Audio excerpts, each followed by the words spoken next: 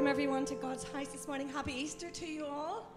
I hope you are all not full of Easter eggs, but that you've got room to breathe and sing. Let's stand in His presence, and we're going to start our Easter morning service by singing This is Amazing Grace. And that is why we're gathered here today, because of this amazing grace.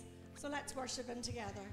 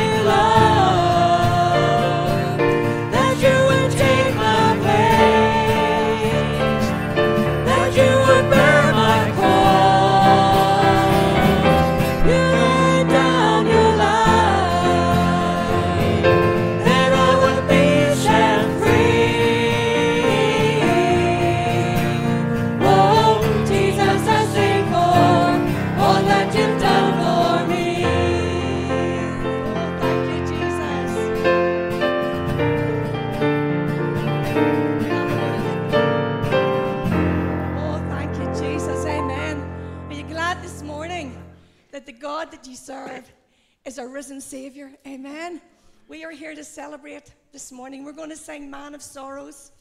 We do not forget the price that it cost him, the suffering, the anguish, and the pain.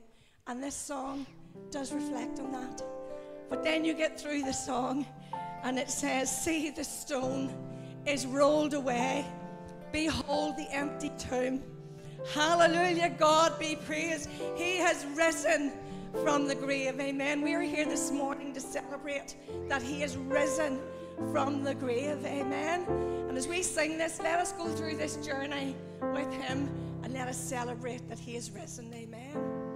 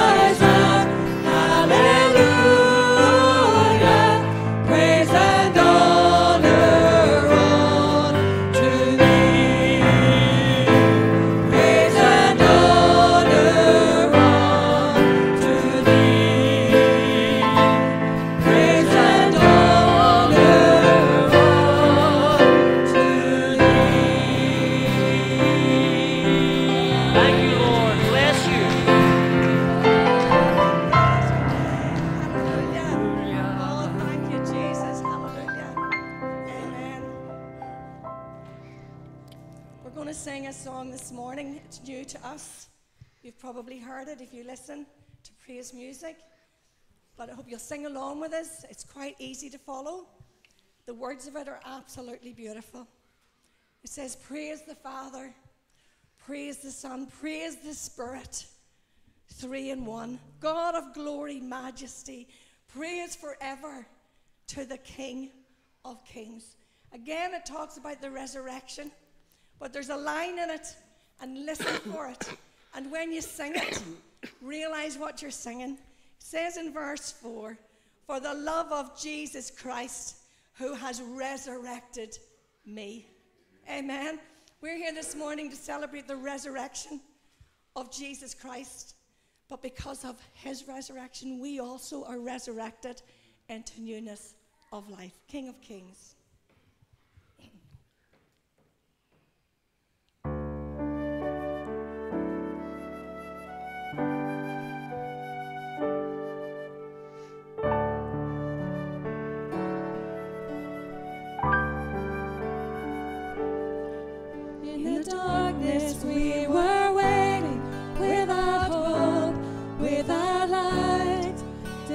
Till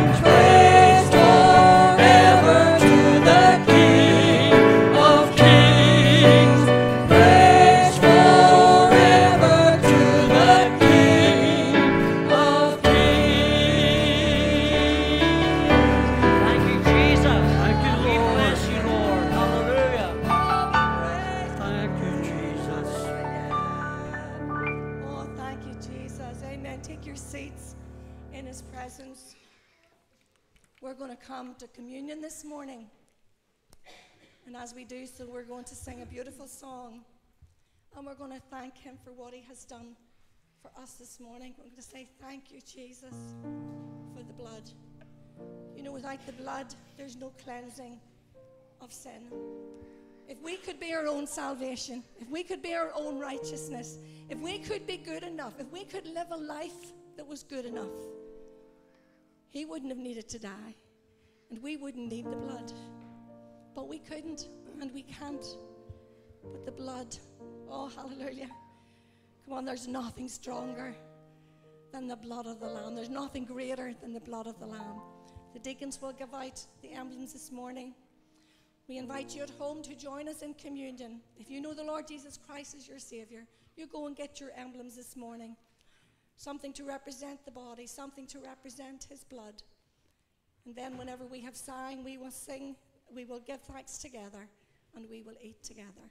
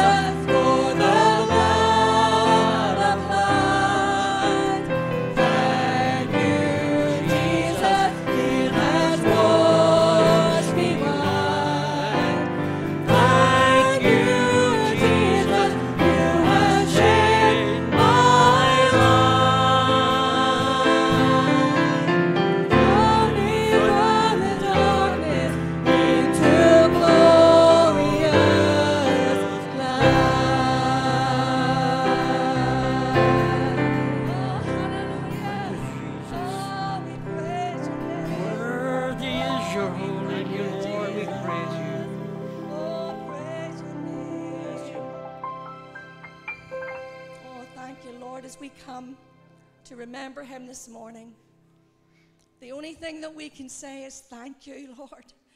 Thank you for the blood. But the word that is most important in that sentence, in this song, is thank you for the blood applied. It's when we take that precious blood of Jesus Christ and apply it to our hearts and our lives that the change takes place. Without applying it, you can have all the knowledge in the world. You can know the scripture inside out. Mm-hmm. You can come to church as much as you like. You can clap, you can sing, you can lift your hands. But on that day, when we stand before Him, He's not going to say, Well done, good and faithful servant. You went to church. You lifted your hands. You clapped. You sang. He's going to look at you and He's going to look at me, and instead of our sin, He's going to see the blood applied.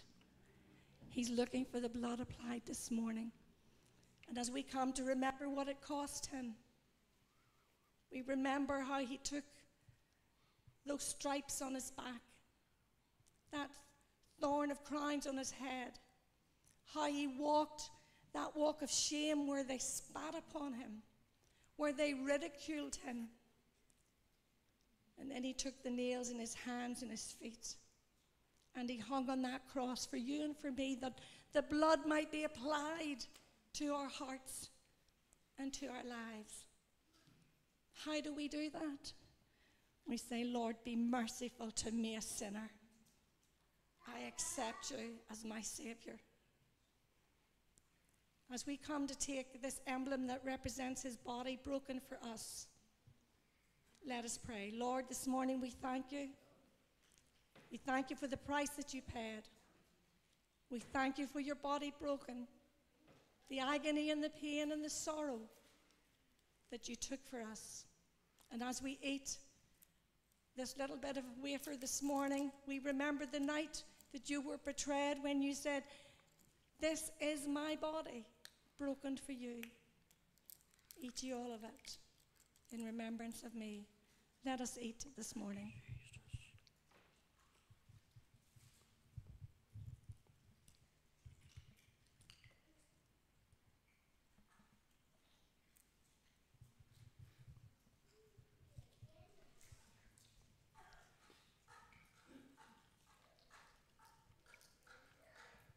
Also remember that he took the cup, He said, This is a new covenant that I am making with you.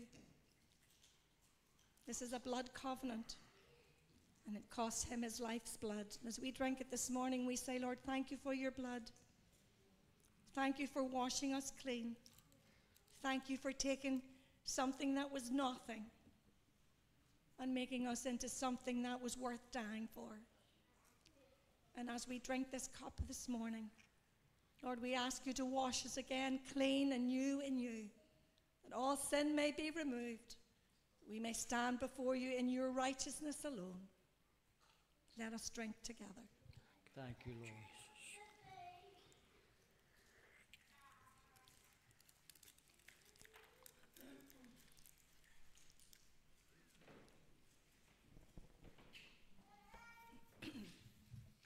Thank you, Lord. Deacons will come and lift your empty cup this morning, and then they'll also come and take your tithes and offerings, and then the kids will go to kids' praise this morning. We're going to sing, Oh, praise the name. Amen. This is where we think back to Calvary and what he has done.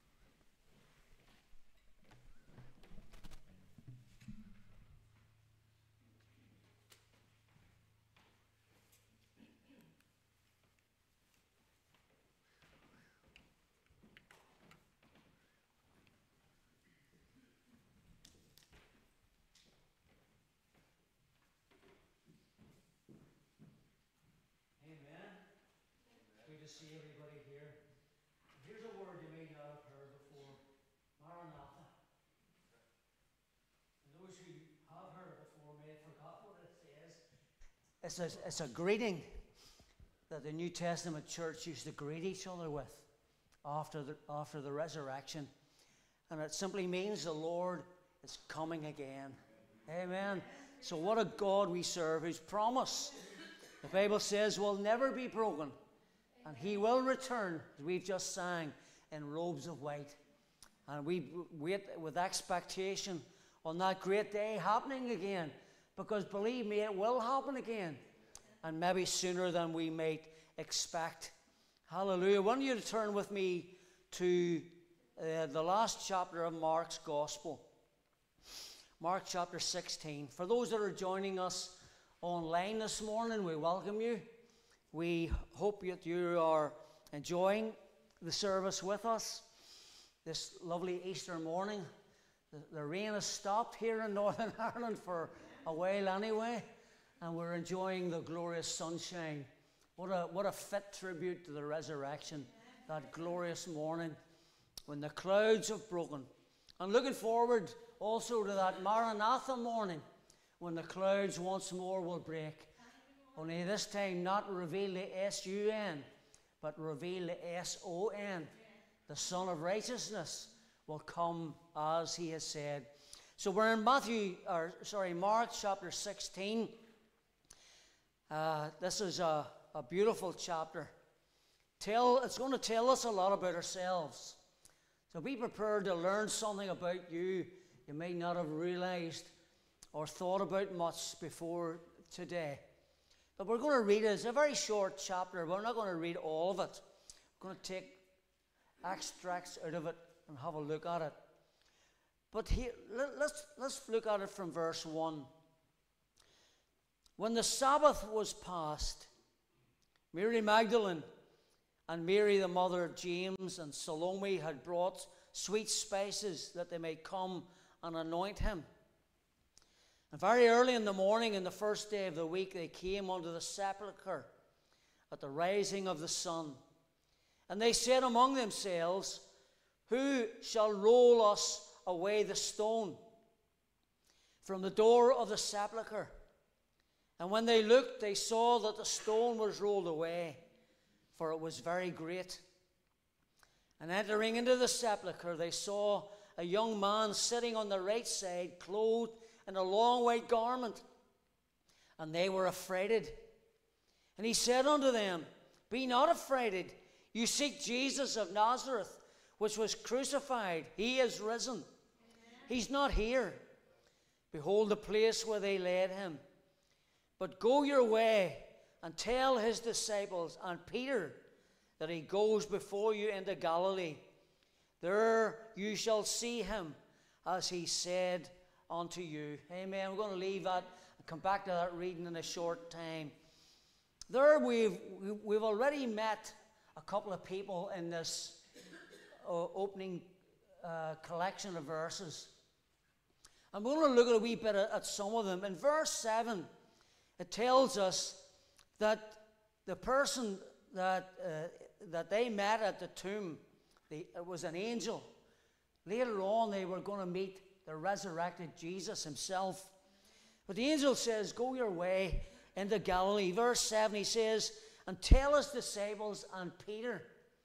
Now, I love the specifics of how Mark determines when he writes this historical record as, as well as a gospel for all of us that are reading this over 2,000 years later, that how we're picking up the threads of how intimate the cross and the resurrection is for all of us. Listen to this. Go your way and tell his disciples and Peter. In other words, go and find them all, particularly Peter. Now, how would you feel if your name was recorded for here when you were the one that had denied Jesus those three times? When Peter said these famous words, I will never deny you. But as soon as the, the, the, the time at the judgment hall and the cock crows, Peter has, for the third time, denied Jesus. How he knew him, how he was a colleague, and even a, a close friend of his. And the cock, the cockerel began to crow. Peter realized the words of Jesus rammed home suddenly and with such a, a dramatic impact on his life that he, like the rest of the disciples, ran and hid themselves for fear of being recognized. It was the last straw that when he warmed himself at the fire, a little uh, a girl who, who was recognized his speech. It says, You're one of these Galileans. I can recognize it by your speech. He says, I'm not one of them. I'm not with him. So, how will we feel? But here's Peter. Now, he was the one that went to the judgment hall, although hiding at a distance, watched and observed all that Jesus had told the disciples that he was going to suffer at the hands of the Jews and of the Romans. And there he was, within sight of Peter, and now recognized by a girl from the, the vocabulary of his speech. So now here's, here's Peter's name through the words of the, of the angelic messenger. Go and tell the disciples, and in particular, Peter. Now, this is a message for everyone who has fallen short of God's expectation for them. Everyone who has come way below the, the, the, the standard that may have been expected of those that had been chosen. Now, every Christian has been personally chosen. Everyone that, that has been called under the name of Jesus Christ, everyone that has prayed that prayer that Lydia mentioned this morning at the breaking of bread, Lord, be merciful to me, a sinner. You can't pray that prayer out of your own flesh. No man can come unto God except the Father draw him. Jesus told us that. So, therefore, if we're feeling the, the anointing of God and the presence of God drawing us closer to Jesus, and how, how better an opportunity than at this Easter time than to be drawn closer to God than we've ever been before? When we feel the anointing of His presence, when we feel the very hairs on our head as we worship Him, and not just sing the words, but feel that the truth is not just an ancient historical truth, but it is an immediate truth. It is still for us today. It applies equally to all of us today. That He made a way where there was no way. That He came and done it all Himself. That there was no other blood that was worthy or righteous enough. But He laid it down. And He tells us that nobody takes it from me, but I lay it down of my own accord. So, what a privilege Peter's name is uh, appearing here. It's like appearing in, in, in, Hebrews chapter 11 in the catalogue of faith, isn't it? All the greats of the Old and the New Testaments, all those who were put to the test, and all who passed the test with flying colours and were, were dramatic and worthy servants of God, found their names in Hebrews chapter 11. Now, here's Peter's found his name here in a recommendation coming from God to the angel, to the messengers, to make sure Peter gets this message. In other words, Peter, it's all right to come back. It doesn't matter what you've done. When Jesus, what did Jesus say when he looked down from the cross? Father, forgive them. That included Peter. That included the rest of the disciples, as well as the Roman soldiers, as well as the Sanhedrin that brought the accusation that put him there. Father, forgive them, for they don't know what they're doing. So these, these words mean something really important. Go and tell Peter it's all right to come back. Tell the disciples it's all right to come back. There's no condemnation. There's nothing going to separate us now. Because now the work has been done, the price has been paid, and now you are now bought with that price, not of gold and silver, but with the precious blood of the Lamb of Calvary. Do you ever really think about what Easter is for us? Well, let, well, let me take you back. E- Easter had its roots way back in the Old Testament. It has its roots in ancient Egypt. Now, God raised up uh, a redeemer in, in Egypt, a man called Moses. And Moses was brought up by the Egyptians. His mother, he, he survived uh, uh, a slaughter of, uh, of innocent children, where Pharaoh had commanded the midwives to make sure none of the Hebrew male children survived. And so the, they, they, they, they went against Pharaoh. They, these midwives went against Pharaoh. But Moses' mother went ahead of the midwives, and she gave birth to Moses. Now, the Bible tells us way back in the book of Exodus, when she looked at him, it says that she recognized that he was a proper child. Now, what that means is she realized that there was a purpose for this child, a destiny for this child. Now, we, we, we all know that when we hold our, our babies in our arms, and when we look at them, there's no baby in the world like that. But we've got Theo here with us this morning, and for his parents here, there's no baby in the world like that. And for Lydia and me, there was no baby in the world like our Sarah or, or any of, of our children. And you're the same. And, and, and Jochebed, Moses' mother, thought exactly the same thing. And her idea was, I'm going to do whatever I can to save him.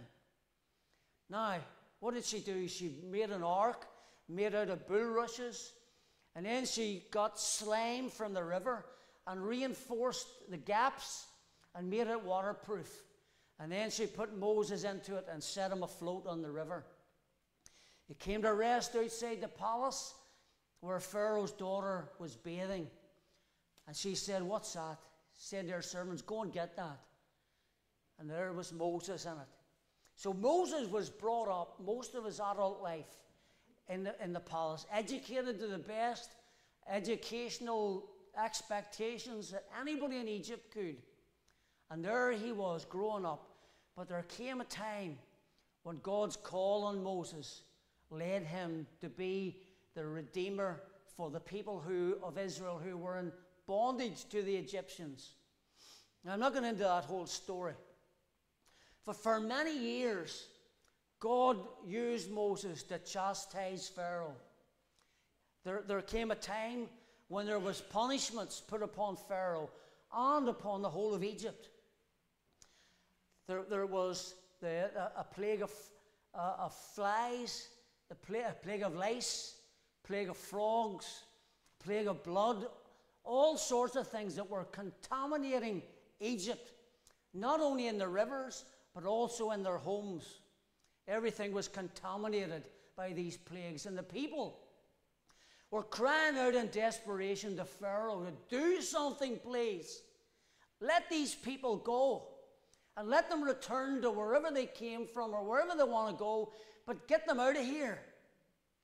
Pharaoh, the Bible says, his heart got harder and harder and harder until he couldn't take it anymore because the last plague was that God said to Moses, Now, this is, this is going to be the most devastating of the plagues. He says, You're going to take a lamb, you're going to bring that lamb into your household, and you're going to nurture it, and you're going to care for it, you're going to feed it, you're going to take care of, of everything that lamb needs. Now, that lamb would have been brought in like a family pet. But it says there's going to come a time when I'm going to tell you that this is the night that you're going to sacrifice that lamb. You're going to take its blood and put this blood into a bowl. And then you're going to put the blood uh, with, it, with hyssop and put it on the, the doorposts and the lintels of your home. Because tonight, I'm going to cause a death angel to pass over the whole camp of Israel. But when he passes over your houses and he sees the blood, then no death will come to your home. He said, I will tell him to pass over it.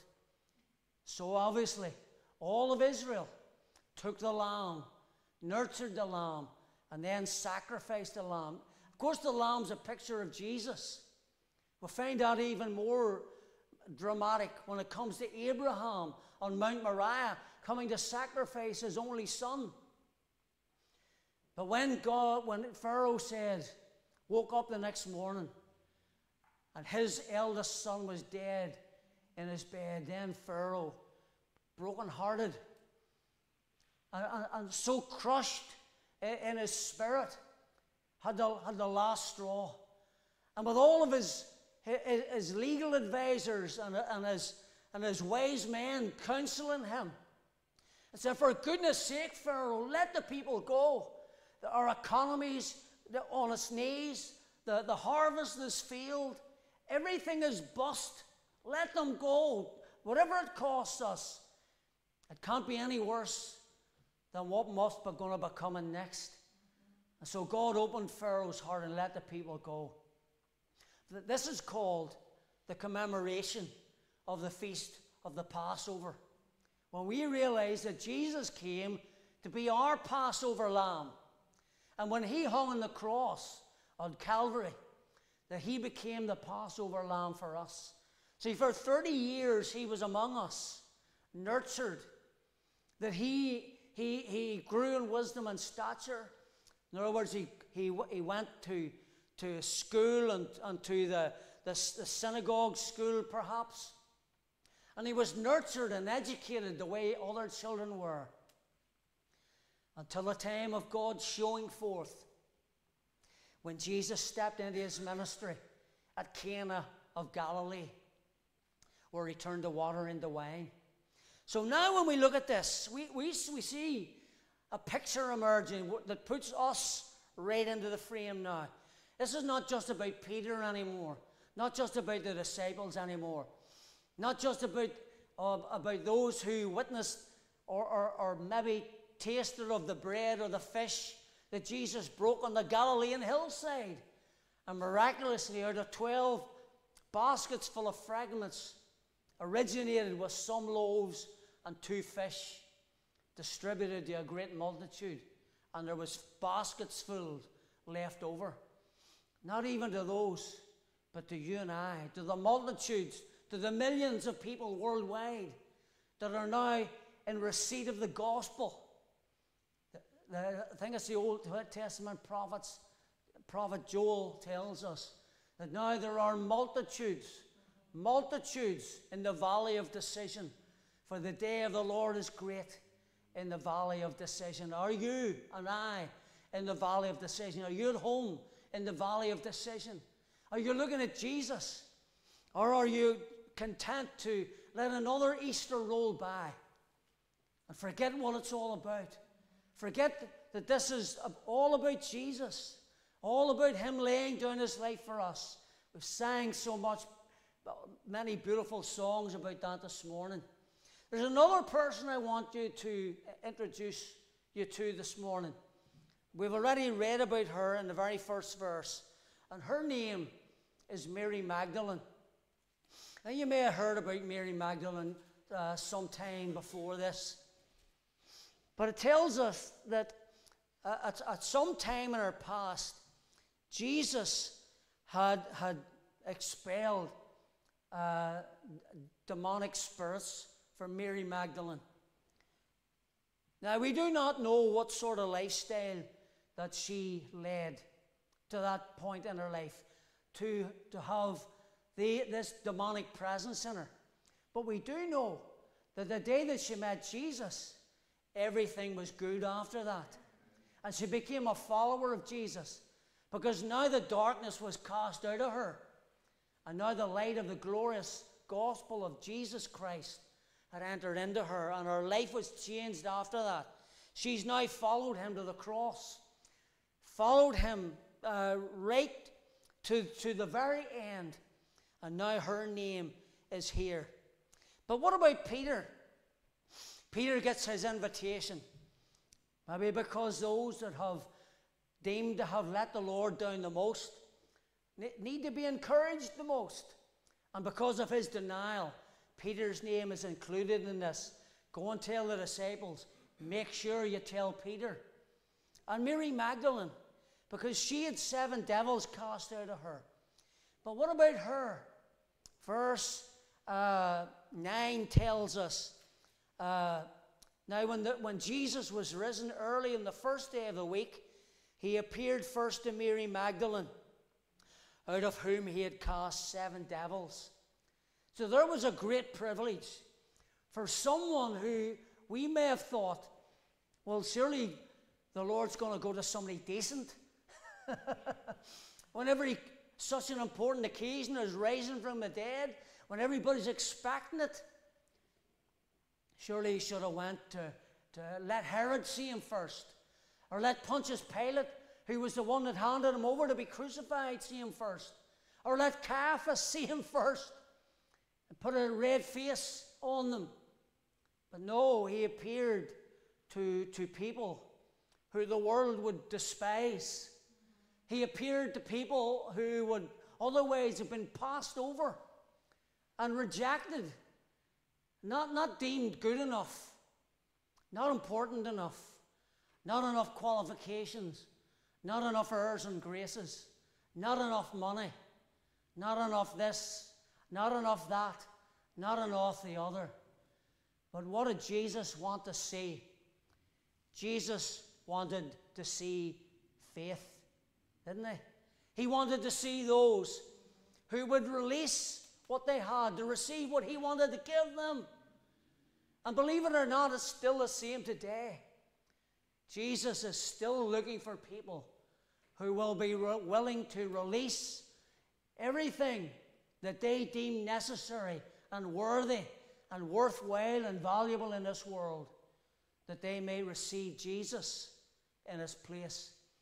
The Apostle Paul was one of the greatest teachers and preachers in the New Testament. Here's what he said He said that I would count everything but dung that I might win Christ. Because he realized that everything else, all his great education, sitting at the seat of one of the greatest teachers ever, he said it's got no value to me whatsoever. Means nothing to me. Jesus now means everything to me. So we got a we got a warrant in our own hearts does Jesus mean everything to us? Have we put our trust in him in the same way that, that Peter did, even though Peter had fallen badly? Jesus sends for him, says, Come on back. Even though Mary Magdalene, of, of whatever brought this occasion for these seven demonic spirits into her, Jesus gave her the privilege of being the first to recognize he was risen from the dead. Hallelujah. So you and I have got a, a, a, a real hope. We, we've got a real opportunity now that, that Jesus will do the same for us. And I believe he will. Because the Bible says he is no respecter of a person. In other words, he doesn't, he doesn't acknowledge one person over another. He doesn't say, that's my favorite, even though I know I am, over somebody else. But we're, all of us are valuable. All of us are loved. All of us, the blood ran down. Lydia had a song in reserve this morning called His Blood Ran Down. And all of us, why did that blood run down? Because you're valuable. You're valuable. You're valuable. You're valuable. We're all valuable. And His blood ran down because the blood was the currency that was going to pay the ransom price for our salvation. Nothing else would do it, only the price of blood. And it's always been the same thing. And back where, where I told you a while ago about where the blood of the Lamb, while, while the nation of Israel was in captivity in Egypt, that was the price for freedom. the blood of the Lamb. And that was the price also of salvation on the doorposts and the lintels of our homes. We've got to get Jesus in his right place in our homes. We've got to get him exactly where he wants to be in pride of place. Not ashamed of the gospel, as Paul also tells us in Romans. For I'm not ashamed of the gospel of Jesus Christ, for it is what? The power of God unto salvation to everyone. Amen. Everyone that believes. Hallelujah. So where's Mary Magdalene's got her name.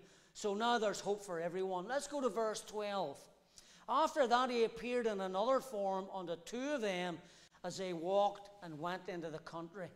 And they went and told it unto the residue, neither believed they them.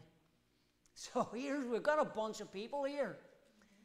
A, a bunch of people that is, I would say, are rather typical of today's generation.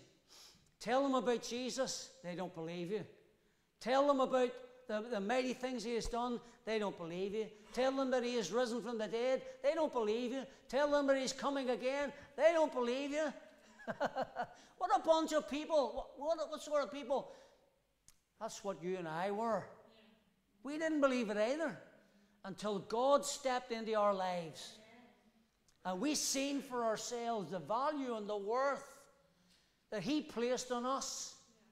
See, that's why the Bible says that, that He loved us before we loved Him. Not the way, not the other way around. Not that we loved a life of, lived a life of piety. And we run around telling people we love Jesus when we didn't even know who Jesus was. We only knew who he was when the penny dropped. And when we realized that that blood applied, we sang about this morning, was applied to the doors of your life, Lydia, to the doors of your life, Alan, to the doors of your life, Philip, to the doors of your life, uh, Darren, and everybody's life. And we could only realize that when God done the work first. Amen. Praise God. So let, us have a look. Uh, bend that page in Mark 16. And we're going to go into Luke's Gospel just over a few pages to Luke chapter 24. Because I want to have a look at these two men that, that uh, Mark's talking about. Because remember, Mark was one of the people that these two men come back to reassure. Uh, he was also one of the ones that didn't believe the two men. So let's, let's listen to what they, they, they say. Verse 13. I'll get the right page first. And behold, two of them went that same day to a village called Emmaus, which was from Jerusalem about three score furlongs. And they talked together of all the things which had happened. And it came to pass that while they communed together and reasoned, Jesus himself drew near and went with them. But their eyes were holding or closed, sort of spiritually closed, if you know what I mean. That they should not know him. And he said to them, What manner of communication are these that you have one to another as you walk and are sad? Jesus doesn't miss anything, sure he doesn't. And, and one of them, whose name was Cleophas, answered and said to him, Are you not only a stranger in Jerusalem, and has not known the things which are come to pass there in these days? And he said, That's Jesus said to him, What things? he was the one that paid the price on the cross. He was the one that died. He was the one that was put into a borrowed tomb. He was the one that rose again. He was the one that was walking beside them. But they, they allowed everything to get in the way. They allowed everything that, to cloud their lives, cloud their judgment, cloud their vision, cloud their perception of all that God had spoken about by the Old Testament prophets, mainly the prophet Isaiah eh, eh, in, in chapter 53. But he says, What things? or is just plain like he, he hadn't a clue what they were talking about. What things? And they said to him concerning Jesus of Nazareth, which was a prophet, mighty in deed and word before God and all the people, and how the chief priests and, and our rulers delivered him to be condemned to death and to have crucified him. But we trusted that it had been he which should have redeemed Israel.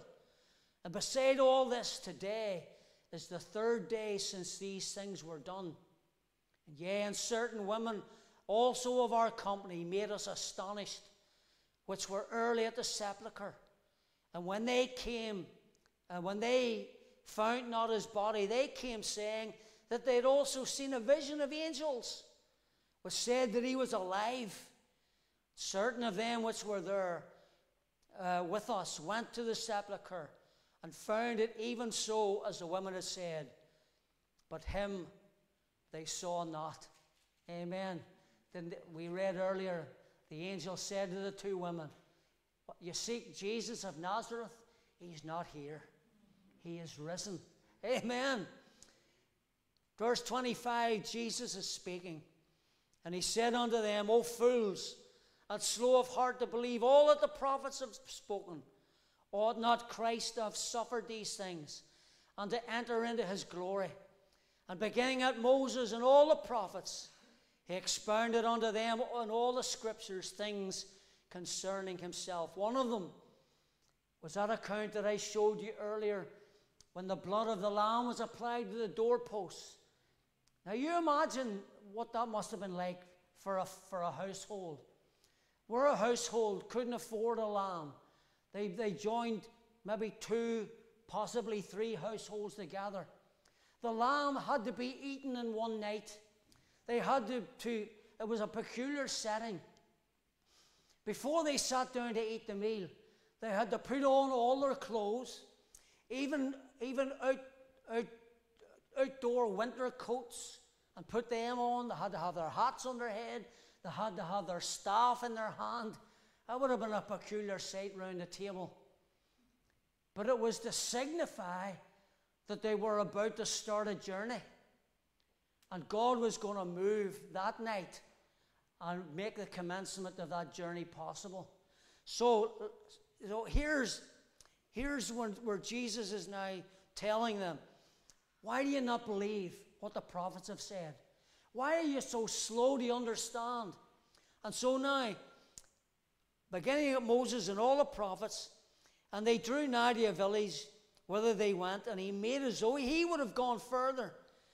But they constrained or, or made him stay with them, saying, Abide with us, for it is toward evening, and the day is far spent. And he went in to tarry with them. And it came to pass as he sat at meat with them, he took bread and blessed it and brake and gave it to them. And their eyes were opened, and they knew him, and he vanished out of their sight. See, we break bread every Sunday morning in our church. The Apostle Paul says, as often as you eat this bread and drink this cup, you show forth the Lord's death until he comes. One day the clouds will break and King Jesus will appear to, to take those who belong to him to his eternal kingdom. So now, when we think about this, we're going to go back to uh, Mark chapter 16. So again, we're going, to, we're going to read about these disciples. Because what's it going to take for these disciples to get motivated, to start to really listen, and to start to really observe who is this person? Well, these two men Jesus already rebuked them because they'd allowed so much to get in the way.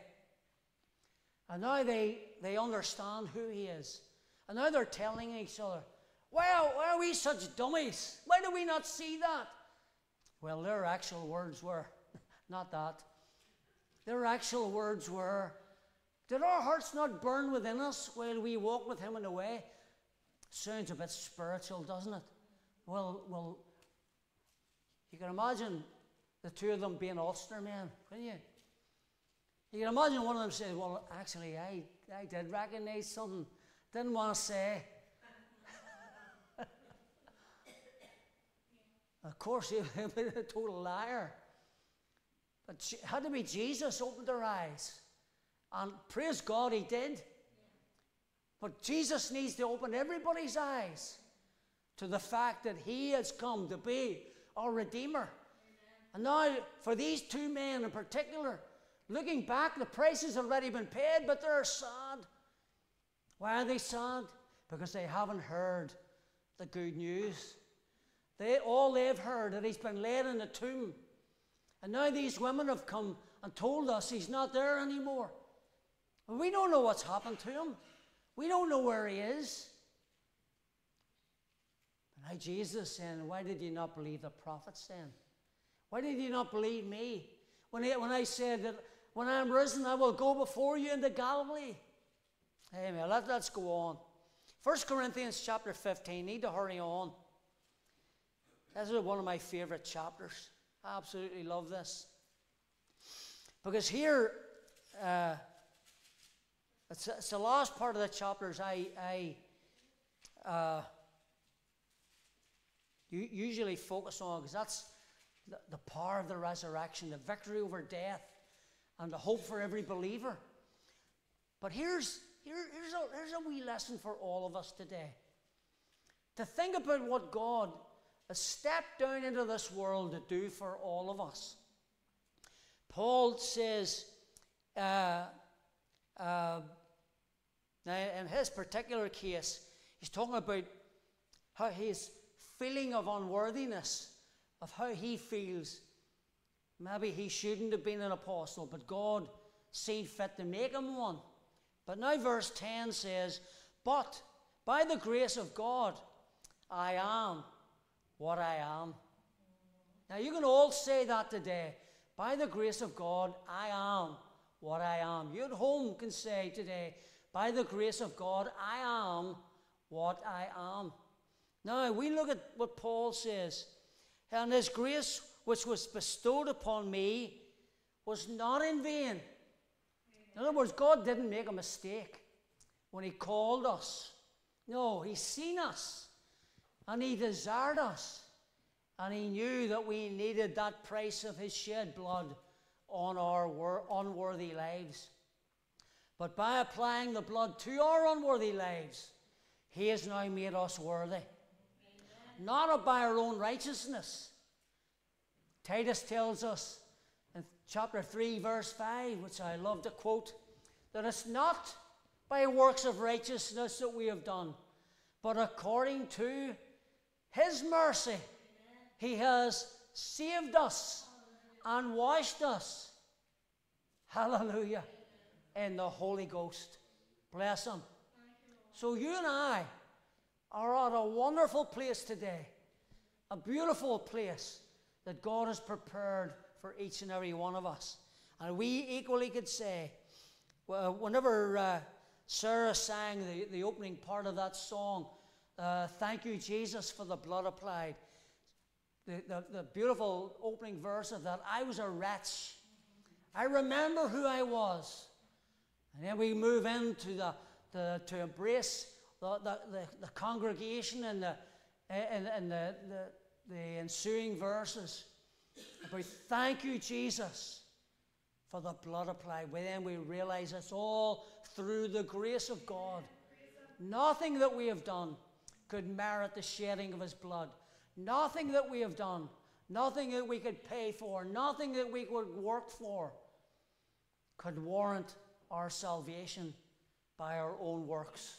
Nothing. I need to push on. I'm going to go into verse 20. Oh, verse 19, sorry.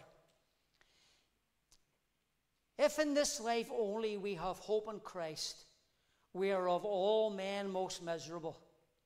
But now is Christ risen from the dead and become the firstfruits of them that slept. For since by man came death, and, man, and by man also came the resurrection of the dead. For as in Adam all die, even so in Christ shall all be made alive. But every man in his own order, Christ the firstfruits Afterward, they that are Christ at his coming.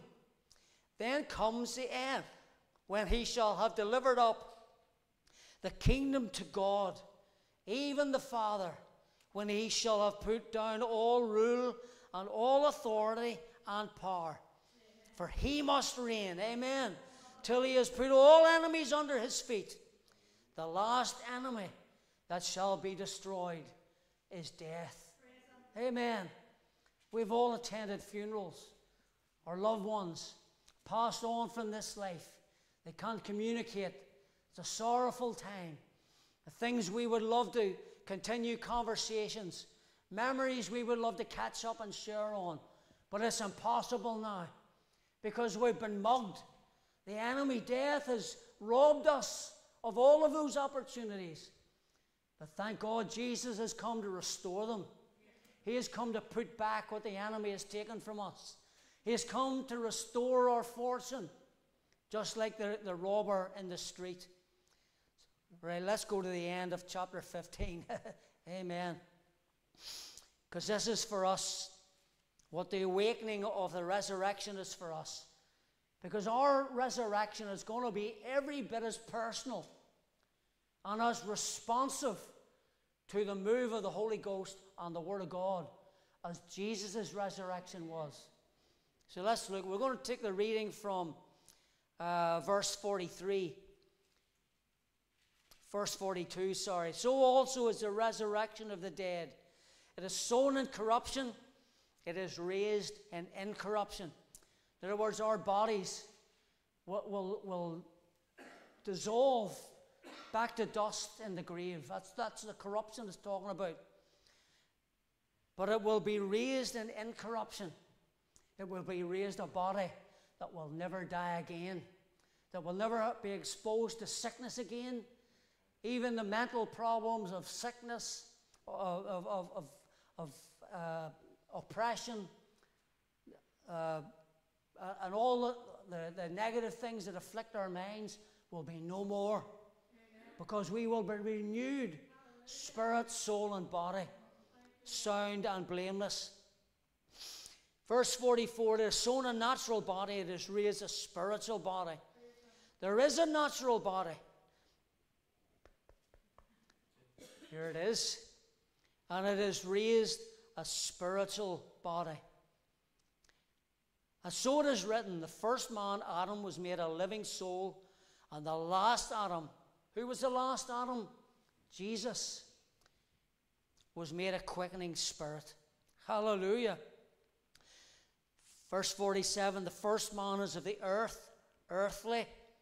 The second is the Lord from heaven. We have a lot to thank God for this morning. We have a lot to appreciate. We have a lot to consider. There'll be things that have escaped our attention. There'll be things that we have allowed to flow over our minds. There'll be things that have got in the way. But what does the Word of God say? Seek first the kingdom of God and His righteousness, and all these things shall be added unto you. So now let's go on near the end of the chapter to close this morning. So it says, So when, verse 54, so when this corruptible, that's not if this corruptible, but when this corruptible this is a definite, shall have put on incorruption, and this mortal shall have put on immortality. Amen.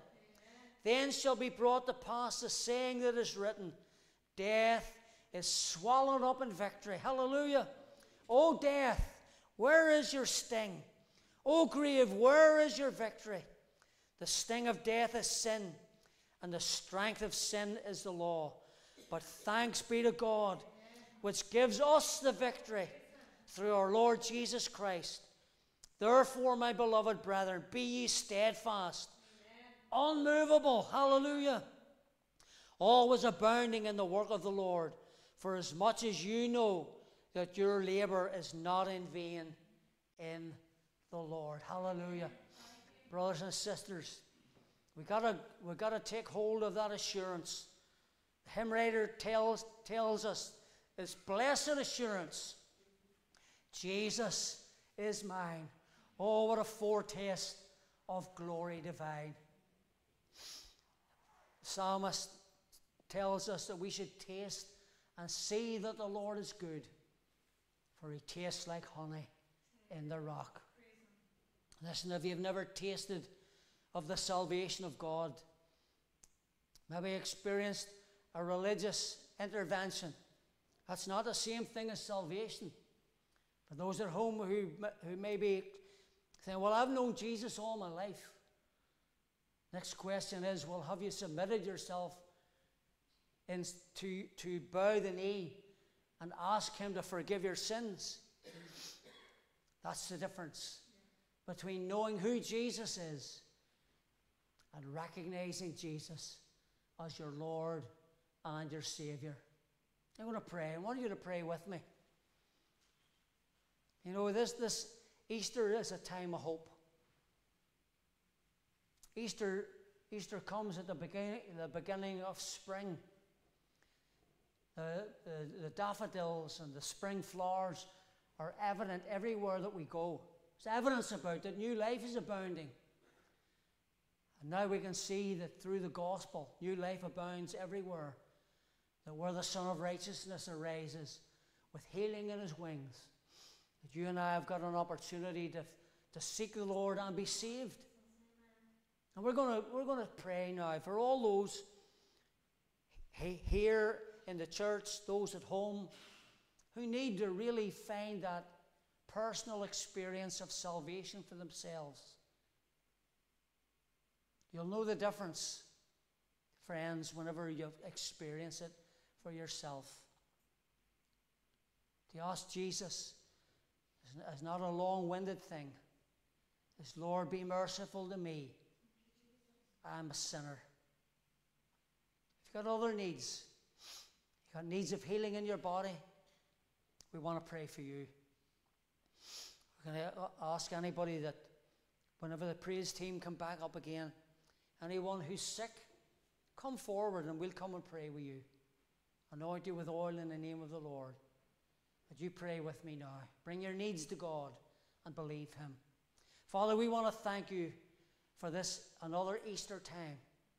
We recognize it as another milestone on the road to your second coming. Our Lord, today we bow the knee to the authority of Jesus Christ, recognizing that in you lies everything that we need for the prosperity of our lives in the gospel, for our salvation, for our healing, for every spiritual benefit, that we will also be preserved sound and blameless until the coming of the Lord, as your servant John could tell us. But Lord, today we remember those who are sick, those in hospital. We, th- we think of Michael and, and Robert in hospital today. We pray, Lord, that you will send the power of your word to raise them up and restore them to health and return them to home. For all others, Lord, those who may be in nursing homes, uh, Lord, we pray too that you'll send your spirit and be their comfort and reassurance and healer as well. And for all those in the church this morning that have needs, those with raised hands, Lord, those with, with problems of healing, physical and mental, in our families, those of our sons and our daughters, of our grandchildren, of whoever it may be, we fall upon your name today, Lord, and, and beseech you that you'll send the power of the resurrected Savior upon them. And no matter what the symptoms may be called, the name of Jesus is more powerful than anything that the devil could ever devise against us. So, Father, we thank you, give you thanks, and give you praise for all of your tender mercies to us. In Jesus' name we pray. Amen. Amen. Amen. Praise team.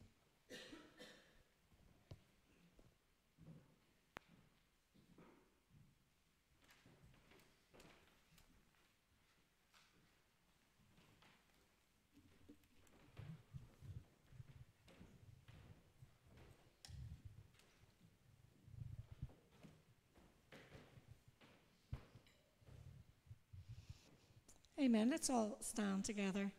Um, I just have an announcement to make. Um, Sarah Temple has asked me to make it this morning. Um, we're hoping to run again our Children's Bible Week um, in the summer.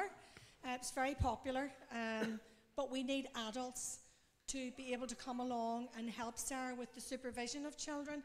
So she's planning to run it from Monday, the 29th of July, to Friday, the 2nd of August.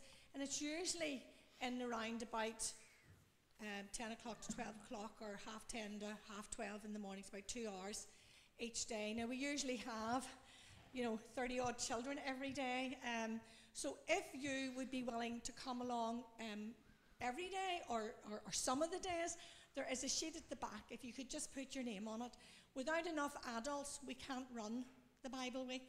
So if you would be willing to do your part, if you would put your name at the back, Sarah then will catch up with you at a later date. So we want to finish this morning with our final song. You're always fighting for us. This is Victor's Crown. And we just pray that you'll go out on a note of victory this morning. Also, we're here this evening, half past six. We're going to come along, worship the Lord, and enjoy his presence together.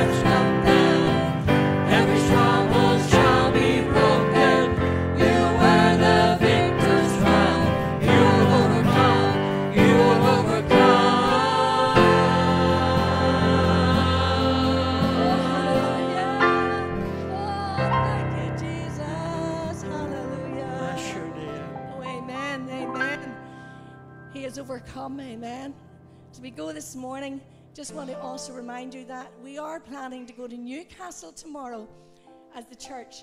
So we're meeting in the car park, the main car park at 11. You can go earlier if you want, but we're meeting about 11 and you bring a packed lunch with you. So we're also planning to do a scavenger hunt up in the forest. Then we're going to have our picnic lunch. Then we're going to do an Easter egg hunt. Then we're going to go down into Newcastle, and we're going to have open water cold swimming, or or a walk along the promenade and an ice cream. So you can choose. But would love you to join us. And then if you want to know more about it, come and see me after the service. Hope you have a wonderful day with your families. Happy Easter to you all.